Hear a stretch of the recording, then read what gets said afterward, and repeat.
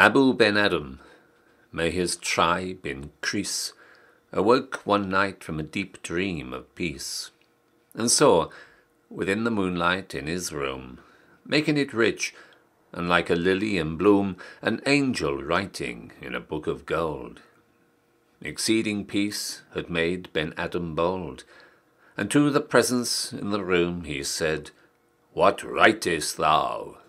The vision raised its head, and with a look made of all sweet accord answered, The names of those who love the Lord.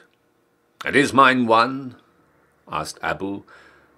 Nay, not so, replied the angel, and Abou spoke more low, but cheerily still, and said, I pray thee then, write me as one that loves his fellow men. The angel wrote, and vanished.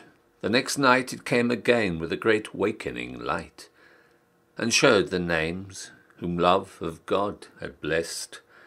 And lo, Ben Adhem's name led all the rest.